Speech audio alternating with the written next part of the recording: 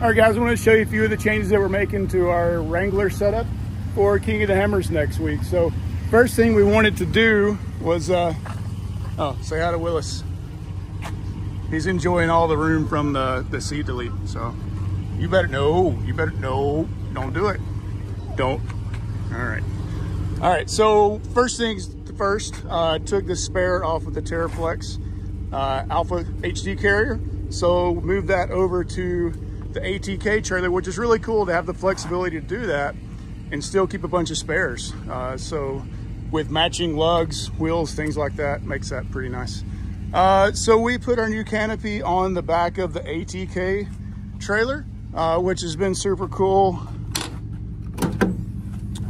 So we will install the uh, exterior bed rails on this probably Monday, and then we'll throw the rooftop tent up on here. So the cool part about that is once we get to camp, we will drop this thing, lock the parking brake, uh, throw some stabilizing jacks out, and then we'll go get the bomb through the desert in this and not have to carry around a rooftop tent, uh, big honking spare, that type of thing. And always knowing that, you know, we can get to the spare back at camp when we need to. Uh, so yeah, I mean, we still have the same setup in the back. Our normal mass setup is still in here. Uh, but we also have all the storage that's in the trailer. So what that'll allow me to do is sort of pack accordingly. So I'll be able to pack all of the sort of day trip gear in the back of the Mass in the Wrangler.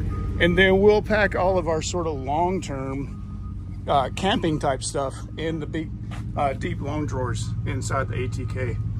Uh, so yeah, that'll be cool. So uh, the reason I want to show you this, this is sort of best of both worlds and really speaks to why we did these things to start with.